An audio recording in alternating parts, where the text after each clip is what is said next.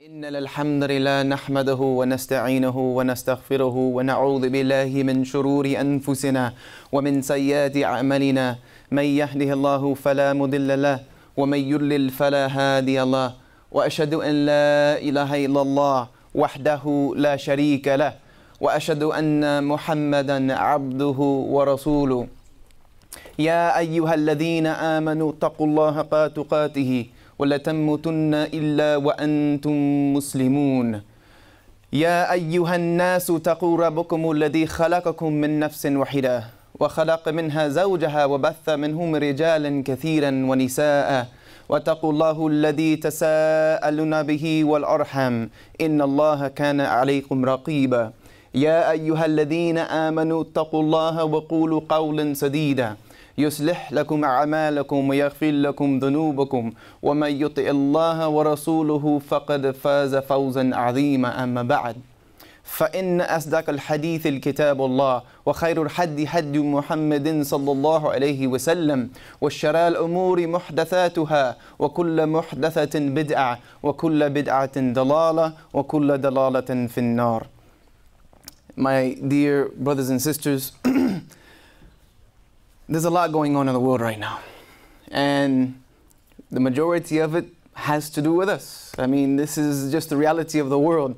What is on the news, what is in the news, what is about the news has to do with Islam and the Muslims in some form or fashion, even though it might be labeled as something else. This is, this is the reality. We know this is the way of the media anyway. They say one thing, but if any of you have ever had any touches with journalism, you will know that the media says one thing and in reality it is meant to mean something else. And for those who understand, they understand what is truly meant. All of this is happening while this ummah is at a place where there is a lot of confusion within Islam, within the Ummah. Within the Ummah of Muhammad sallallahu alayhi wasallam, there is tremendous confusion. And I see this, I see it everywhere I go. Every country I have been to in the past year, there is confusion, there is misinformation. There are a lot of people who don't know what it is they should be doing, what they should not be doing, or where they should be going. And this is a major problem. It's a major problem. And a lot of times we ask ourselves, what is it that we can do? What is it that we can do as Muslims to better this situation? You know, in times like this where the Ummah is being tested so heavily, when the Ummah is being tested so heavily, there is one tool that we need more than anything else. And this tool is Iman. This tool is Iman. Because you see, Iman is the catalyst by with which everything else happens for the believer. Without this understanding of the type of Iman that we must have, then we will fail. Wallahi, we will fail. This is reality. Allah subhanahu wa ta'ala says very clearly in the Quran, قَدْ أَفْلَحَ الْمُؤْمِنُونَ That indeed the believers are successful. The believers, those people who possess Iman, they will be successful. And by that standard, it means that the opposite is also true. That those without Iman, those without belief, will be losers and they will fail. You see, this is what we have to understand, brothers and sisters. There's so much at stake right now. So much at stake, and so very little maybe you and I can do as one human individual. Very little. But our iman in Allah subhanahu wa ta'ala can make the impossible possible. Our trust in Allah subhanahu wa ta'ala, complete reliance on Allah, can make that which no one ever thought might be able to happen, happen very easily. You see, this is something the believers have to grasp once again. I'll give you a couple of stories, examples. This is a, a topic that could be discussed at length and at length and at length and at length. Let's look at the story of Musa alayhi salam. Musa When Fir'aun had his dream, he had a dream that there would be someone who would come from Bani Israel who would overthrow his kingdom. Would overthrow his kingdom. You see, and this frightened him. This frightened him. So what did he decide to do? take some logical action. Some logical action. Tyrannic action. He decided to kill all of the male children of Bani Israel, prevent this from happening, enslave their women, so that this will not happen. So this is the plot that he planned, and he carried it out. The mother of Musa salam was pregnant, but she was able to hide her pregnancy. You can, you can hide pregnancy. If you dress appropriately, you can hide pregnancy. But when the baby was born, there's no way to hide an infant. A crying baby is a crying baby. Is, all of you who are parents know this. There's nothing you can do about that. So she had no idea. Now, what do I do? What do I do? This is a woman from Bani Israel who had iman in Allah subhanahu wa ta'ala azza wa jal. So she put her faith in Allah. Ya Allah, what do I do? What do I do? And Allah subhanahu wa ta'ala told her the plan.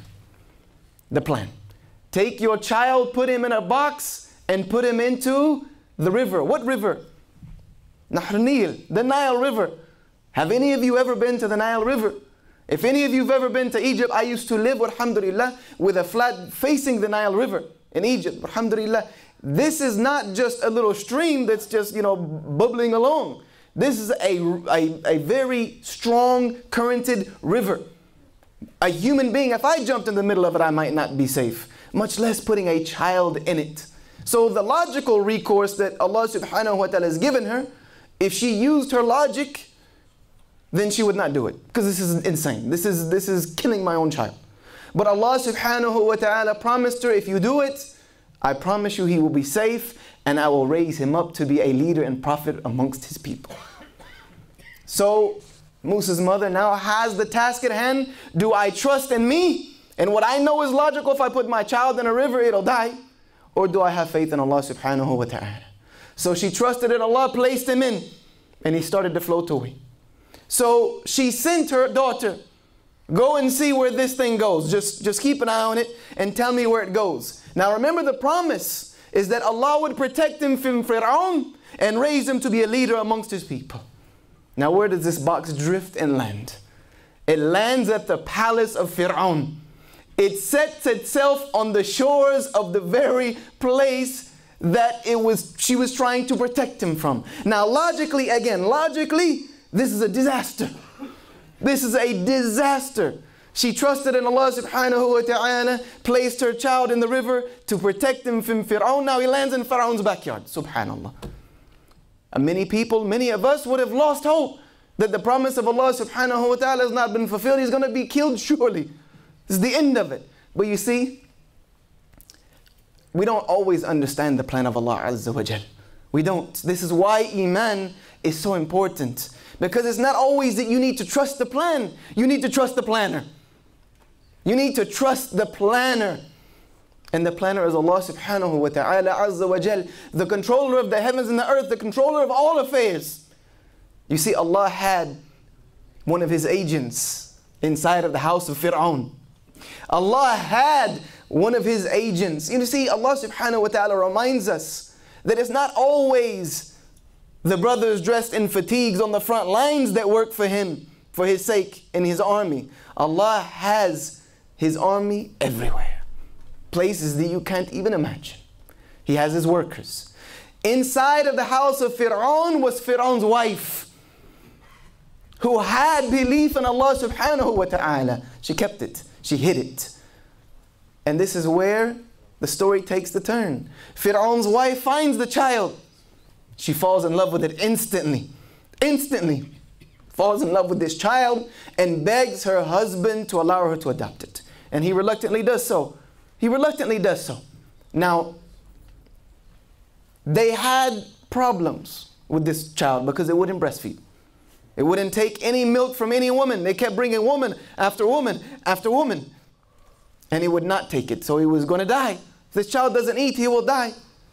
So, as the sister of Musa had seen this taking place because she was spying, she was watching, she came forward and said, Can I guide you to that which will solve it? Can I guide you to the one who I guarantee you will be able to breastfeed him? They said, Sure, send him.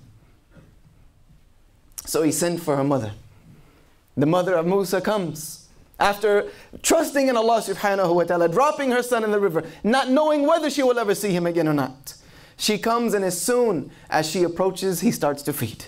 Alhamdulillah. See, the plan of Allah subhanahu wa ta'ala is perfect. It is perfect. And then so the wife of Fir'aun negotiates with her, look, we'll hire you. You come here.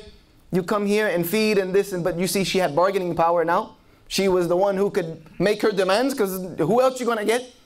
No. You bring him to my home. You bring him to my home. How many times a day? Over and over and over again every day you bring him to my house and I'll feed him there. That's my only condition. And so she agreed. Now this same child who was on a death list that Allah subhanahu wa ta'ala told her to get rid of, he was put on a box and floated to Pharaoh. Now he is being marched to his own home by a royal procession. And when he is in that home, guards are surrounding him to make sure nothing happens to him, subhanAllah. You see, this is the plan of Allah that we don't always see. We can't always see the plan of Allah subhanahu wa ta'ala until it starts to unfold itself. But this is only because she decided to fuel this plan with her iman, trusting in Allah subhanahu wa ta'ala. And we all know the story of what happened next. Musa alayhi salam grows up to bring down Fir'aun and free the children of Israel and become one of the greatest of the Anbiya to ever walk the face of this earth. You see, this is the plan of Allah for the believers. This is the plan of Allah. We not, may not, not always see it. It might seem, though, is impossible. There is no way, no way. The conditions are far too out of hand for this to be possible.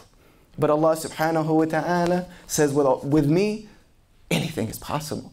All things are possible. There is nothing that is outside the grasp and the power and the ability of the creator of all things. Later on, this same Musa alayhi salam, when he spoke to Allah subhanahu wa ta'ala, and this is one of the greatest gifts given to Nabi Musa alayhi salam, is that he spoke to Allah with no intermediary. Directly Allah subhanahu wa ta'ala spoke to him from the burning bush. And what did Allah tell him to do? First of all, that he was going to be a prophet, go to Pharaoh, etc.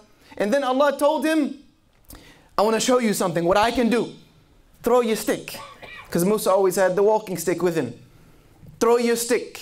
So Musa threw his stick and it turned into a snake. And what does the Quran say he did? He took off running. He took off running so fast he didn't even turn around and look. He was absolutely terrified of this stick that had turned into a snake. But then Allah subhanahu wa ta'ala strengthened him with the iman. And Allah sent him to Musa, uh, Allah sent him to Fir'aun. And he challenged Fir'aun, challenged him. And Fir'aun said, You're nothing but a sorcerer. You're nothing but a magician. I have plenty of them better than you, the best that the earth has ever seen. I have them. And these are not sleight of hand magicians. These are people who were trained in the art of magic. So Musa salam said, bring them together on the day of Yom al-Zina, the biggest day of all of Egypt when everybody will come. You see, this is the iman of the believer. Bring them on the biggest day. Not let's test it out and, you know, we'll meet them together alone where nobody can see and let's see if this thing works. Musa had complete trust in Allah subhanahu wa ta'ala.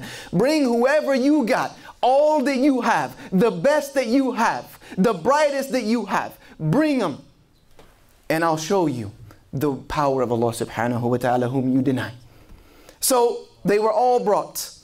Thousands and thousands and thousands and thousands of them were brought on this day and they were aligned in ranks. Imagine this scene, brothers and sisters. Aligned row after row after row of these powerful magicians. And here is Musa alayhi salam all alone. Here's Musa. But you see, brothers and sisters, someone who has true faith in Allah subhanahu wa ta'ala, who has true alliance, reliance in Allah, they are never alone. Never, ever, ever are they alone. Ever. And so Musa even told them, go ahead, throw. Let me see what you got. That's it. Give me the best that you have. And they threw, and their sticks started moving, and a great scene happened. Something Hollywood cannot replicate in its best attempt is happening in front of the eyes of all of these people, amazing them. And Allah said that even Musa had a little bit, a little bit of fear came inside of him. He's a human being. This amazing scene has happened. His initial reaction, little fear. But then Allah subhanahu wa ta'ala strengthened him. He had made the initial step. You see, brothers and sisters, this is what Allah subhanahu wa ta'ala wants from us. Have iman in Him and just take the initial step. Come running, uh, walking towards me, and I'll come running towards you. Take a step towards me, I'll take two towards you. Just a little bit of effort on my behalf. This was the same with Musa's mother. Just drop him in. Just, I'll take care of the rest. You just do a little bit. Allah only wants a little from us. And He's willing to give everything. Everything. So Musa threw, and it devoured all of that spectacle. That amazing spectacle that everybody was amazed that, oh, Musa's crushed. This is over. It's done snapped it up like that, as if it did not ever exist. So much so, so powerfully, so clearly, that all of these magicians fell down in sujood for Allah subhanahu wa ta'ala. All of them. And what had Pharaoh promised them in the first place? Pharaoh had promised them money. He had promised them power. You'll be my closest advisors. We'll be buddies. You'll be buddies with the king of the world. Now they're falling in front of Allah subhanahu wa ta'ala in sujood believing in Allah, saying that we believe in the Lord of Musa alayhi salam. And Pharaoh is threatening them. What is wrong with you? Do you not know I will crucify you? I will cut off your hands and your legs and watch you die slowly. You see how quickly Iman had entered into their hearts? They said, We don't care. Do as you wish. We believe in the Lord of Musa. And this is what eventually came to bring down the very tyranny of Fir'aun and his people. You see, brothers and sisters, this is what this ummah needs today. We need iman. We need iman that is put into action. Iman that is willing to take a step towards Allah subhanahu wa ta'ala. Iman that is willing to say, Ya Allah, what do you want from me? We have too many people today that are ready. They're ready in their minds to think, to take the greatest steps. We're ready to put our lives on the line for Iman. Alhamdulillah. But how many of us are even willing and willing and ready to get out of our beds at 5:30 in the morning, get in our vehicles and drive to the masajid and stand in front of Allah subhanahu wa ta'ala in jama'ah in the middle of the morning, in the early of the morning. You can't even do that, but you're ready to put your life on the line for Islam. Who are you fooling? Who are you fooling? Who are you fooling? We have so much to be done. You want to say that you want to go from being the weakest of Muslims to the greatest of Muslims overnight. But yet when your alarm goes off at 3 in the morning for Qiyam al-Layl, you hit the snooze button and roll over. Allah subhanahu wa ta'ala is standing in the nearest heavens in a manner that befits His majesty and honor. Unlike His creation, calling out to all the inhabitants of this earth, who is willing to stand for me and ask for me to forgive them? I'm ready to give it to them. We'll hit the snooze button and roll over. But we're ready to take over the world, right? You see, brothers and sisters, we're missing a lot. We're missing the basics. It does not take great leaps. It takes small steps, sincerely for Allah subhanahu wa ta'ala, that can change everything in an instant. Let's look at the life of the Prophet alayhi salatu. When he's ready to make hijrah, when the Meccans know that if we can stop him now, it's over. Surround his house. There's nowhere he can go. We got him. It's over. It's done. If he takes a step out, we'll kill him. And if not, before Fajr, we'll kill him. Little did they know that uh, they plotted and planned. Makaru wa makarullah. They plotted and planned and Allah planned. And Allah is the best of those who plan. And the Prophet ﷺ walked right past them. Later on in the Battle of Badr, a couple hundred, couple hundred facing thousands. Subhanallah couple hundred facing a thousand. And what is it logically going to look like is going to happen? If we were to use our logic, we would say it's over. If you were to go outside right now and there's 300 people ready to fight a thousand, you'd be like, man, let's watch this massacre. This is going to be interesting. And that's what the Meccans thought they had. That's what they thought they had. We got them now. This is it. We're going to exterminate them today. And even as shaitan, as the Prophet والسلام, said, was there that day urging them, do away with them, finish them off. And the Prophet والسلام, didn't tell them, let's go get some more weapons. Let's go get some more people. You know, this is this is a fight we can't win. Let's just, just let's just let this one be. No. His iman spoke. And he raised his two fingers, or his two hands in front of him to the heavens, and he said, Oh Allah, here are your believers. This is what you have on earth. If we are destroyed today, you will no longer be worshipped after this day. You see, Iman spoke. And the battle began, and Allah subhanahu wa ta'ala sent His real soldiers. He sent the angels to protect and defend them and rout the Meccans. And this is what happened they lost. We forward a little bit to the Battle of Khandaq, the Battle of the Trench, when they had dug a trench on one side of Medina, the exposed side. Now, was that trench enough? No, it wasn't sufficient. There was 10,000. You think some point they wouldn't eventually have figured out how to get over it? Of course they would have figured out how to get over it. But this was just the best that they could do. This is we're doing what we can do. The rest we put up to uh, the trust of Allah subhanahu wa ta'ala.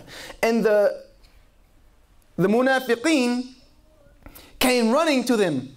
Are you serious? Do you think this plan is going to work? This trench is going to stop them. Don't you know that one of the largest armies that have ever been assembled on these lands is on the other side? Are you out of your mind in order to make them afraid? But Allah subhanahu wa ta'ala said it only increased the iman. Because they knew the tougher the battle, the stronger the test, the harder the test the more that Allah subhanahu wa ta'ala is on the side of the believers who trust in Him. So they said to them clearly, boldly, no question, yes, we understand that trench is not enough. We got that. Our numbers are not enough. We got that. Our weapons are not enough. We know that.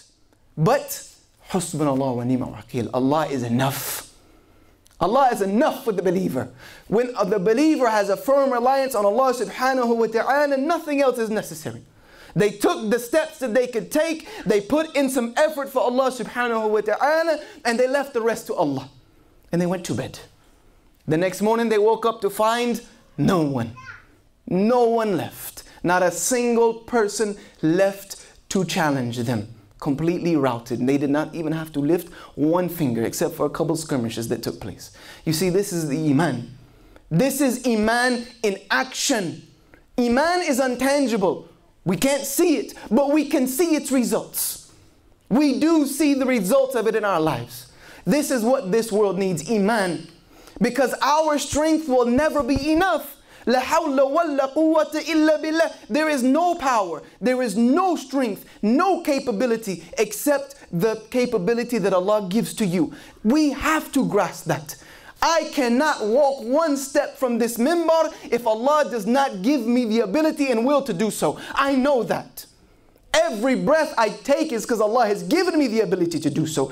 Every step I take is because Allah has empowered me to do so. And at any moment, at any time, at any place, Allah can strip it from me. And that's the reality. Our power will never be enough. Our numbers will never be enough. Our strength will never be enough. But for sure, Iman in Allah subhanahu wa ta'ala, Jalla wa ala, the creator of all things, is always going to be enough. So if we are failing, it's because our Iman is failing us. We are failing ourselves with our Iman. This is something I have no doubt in. If we are losing, it's because we already killed ourselves with our own Iman. We destroyed our own selves by failing to have trust properly in Allah subhanahu wa ta'ala. Have no doubt about this.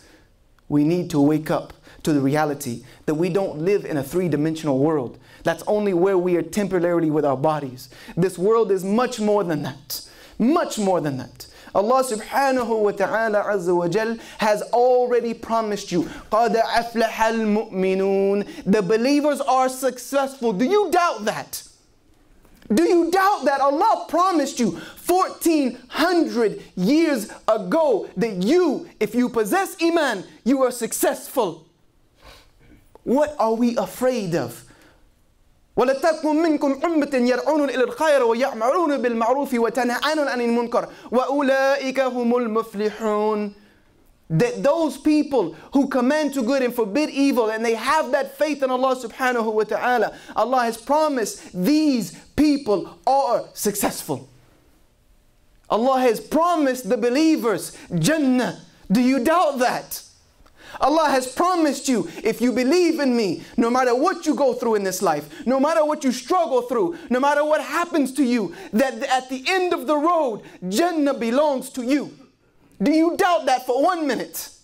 The Prophet said, Allah has promised the believers that which an eye has never seen, that which an ear has never heard about, that which a mind cannot imagine. Do you doubt that? If you have no doubt in that, you will never be worried about what we are confronted with. It will never cause you a night of restless sleep. It will never cause you heartache for one moment because you will know no matter what I'm going through, Allah subhanahu wa ta'ala has the plan. And I'm just going to stick to the plan. Just going to stick to the plan. Trust in Allah, do what's within my capacity to do, and the success of it is in the hands of my Creator. أقول قولي هذا واستغفر لي ولكم فاستغفروه إن غفور رحيم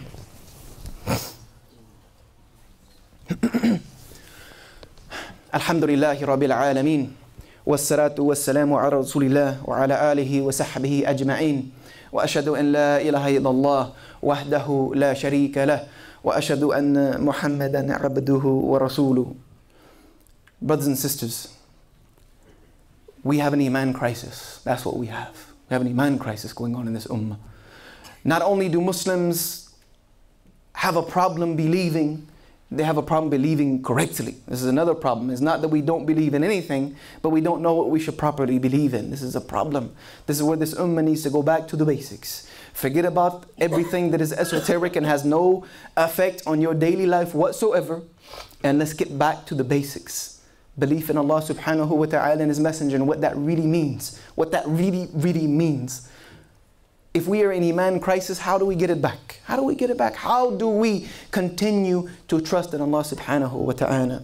The first and foremost, brothers, is you need to have a reconnection and I've talked about this on this minbar a number of times. You need to have a reconnection with Allah subhanahu wa ta'ala. You need to reconnect your life with Allah subhanahu wa ta'ala. And that comes about through the ibadah that you give to Allah and, and, and most importantly, it comes to having a connection to the words of Allah subhanahu wa ta'ala, al-Quran al-Kareem. Because there is no ibadah that you can offer to Allah. There is no salah that you're going to give to Allah. You're not going to stand up in the middle of the night, in the middle of the day, in the morning, in the evening, and pray to Allah if you have not included a part of His kitab.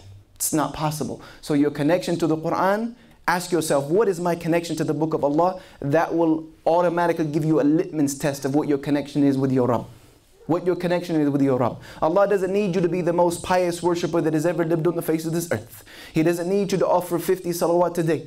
He didn't need that. If He wanted that, He would have required that. What Allah subhanahu wa wants is that everything you give to Him, you give it for His sake alone.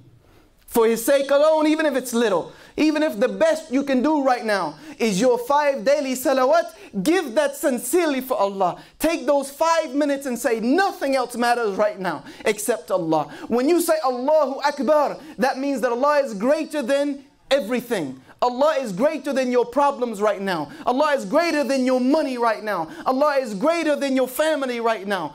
Everything that you're worried about, that you're stressed about, when you say Allahu Akbar, you're making a testification that Allah is greater than that and I need to have my focus right here, right now. This is the type of, of effort that we can make simply, simply with trust in Allah subhanahu wa ta'ala, doing things solely for Allah's sake. This is what we need. Maybe you have been very slacking in your deen. Maybe the only time you've made it to the masjid in the past two months is during the Salatul Jum'ah. Maybe. But that doesn't mean you can't change that. You can fix that today. You can change that tomorrow morning. You can be a new person when you wake up. When you go to bed tonight, you can say to yourself, and you can say to Allah subhanahu wa ta'ala, Ya Allah, tomorrow I'm going to be different. I'm going to be better. I'm going to do more. Give me the tawfiq to be able to fulfill my words. And Allah will strengthen you. Trust me. Allah subhanahu wa ta'ala will never ever let you down. Ever. There is no way. Inna Allah la yukhliful mi'ad. Allah does not break His promises. He does not disappoint the believers. He does not fail them. It has never happened and it will never happen and you're not going to be the first one. So please, brothers and sisters, maybe you've been on the wrong road. Maybe you've been hanging out with the wrong people. Maybe you've been involved in the wrong thing. Maybe you know for a long time your heart's been poking you. The time to change, it's time to change. That's your own soul warning you, it's time to change. The angel of death is chasing you, time to change. There's nothing stopping you from that but you. But you, you can be better. That's what this ummah needs. We need an attitude that, Ya Allah, we want to be better. We don't want to be perfect. We'll never be perfect. It's impossible. But we want to be better. And we want to be better solely for Allah's sake. If we see that type of change in this ummah, just a sincere ummah that maybe they don't have the most knowledge, maybe they aren't the most pious worshippers, maybe they aren't giving hundreds and thousands of charity, but they have made a sole commitment to be better for the sake of Allah Azza wa Jal alone. And they are leaving the results of what happens around them and the results of what comes of their life to the hands of Allah subhanahu wa ta'ala and His plan. If you do this, brothers and sisters, you will be successful. You'll be successful. I don't care if you end up with nothing. I don't care if they take your job and your home and your car and you end up in the streets with your family. If you continue to trust in the plan of Allah subhanahu wa ta'ala, it will come. Finally, lastly, I'll give you one small story. There's a story about the time of Dawood alayhi salam. This is where we end. A woman came to Dawood alayhi salam and she said, Dawood, is Allah just? Is Allah just or unjust? And he said, Woe to you, woman, what kind of question do you ask? Surely there is no one that is more just than Allah subhanahu wa ta'ala. He said, what, what, What's the matter? She said, On the way, I'm a, a single mother. I'm a single mother. I support my children. I put food in their mouths by knitting, by making garments and taking them to the market and sell them, and then buying food and taking it home and putting it on my family. That's all I have every day is what I bring home. Now I was on the way to the market, and a bird came and swooped what I had knitted out of my hand and took it off. And now I have nothing to give to my children. So it's not Allah unjust or just? You see, sometimes we're tested. When we decide, I want to trust in Allah subhanahu wa ta'ala, Allah is going to test you. Do you think that you say you will believe and you won't be tested? You're going to be tested. For sure, you'll be tested. There were times in my life, and I don't like including personal stories. There was a time in my life where I had nothing, and wallahi, Allah is my witness. I was walking the streets of my hometown looking for coins on the streets to buy anything to eat and put in my stomach. Wallahi, Adim, Allah knows. I had nothing. I had nothing. But I never once, never once doubted that Allah subhanahu wa ta'ala would eventually find a way. Alhamdulillah. Allah provides. Allah is ar-razaq. So at that time, a woman, a, a, a, a group came in of, of merchants, sailors. They came in and they each had, they each had a hundred dinar, similar to, to in, in money at that time. And they said, we want to donate this to the sake of Allah subhanahu wa ta'ala and want you to choose whom to it should go to. And they, they, they asked, what, what, do you, what do you mean? They said, we were out sailing, coming here, and a great storm came and made, uh, uh, damaged our boat. And it seemed as if we were going to die. And we made an oath that if Allah subhanahu wa ta'ala would bring us out of this difficulty, we would donate what we had in His sake. And then a bird came and dropped some materials this yarn and knitting material that we needed to fix our boat. So we repaired our boat with it. And we've made it here and we hand it to you. He looked at the woman and he said, Is not Allah just? You are doubting your Rabb who works for you on land and at sea. And you're doubting him. And he gave her the whole thousand dinar and said, Go feed your children. You see, this is sometimes we have to just trust in the plan of Allah subhanahu wa ta'ala. We can't be so quick to jump to a reaction. We can't be so quick to lose our heads. We can't be so quick to doubt because the plan of Allah subhanahu wa ta'ala sometimes doesn't make sense to your little feeble mind. There might be other things at work throughout the universe that Allah is putting into motion just for you and you don't know it and you're doubting. Allah might be moving the heavens and earth for you and you might be doubting. Just trust in Allah subhanahu wa ta'ala. There has never been a believer that has ever brought any story forward that they've ever trusted in Allah subhanahu wa ta'ala with all of their trust and He has ever let them down. And I'm still waiting for one to come forward. It doesn't happen. Allah subhanahu wa ta'ala supports those who believe. قَدْ أَفْلَحَ الْمُؤْمِنُونَ These believers are already successful. ربنا أتنا في الدنيا حسنة وفي الآخرة حسنة وقنا عذاب النار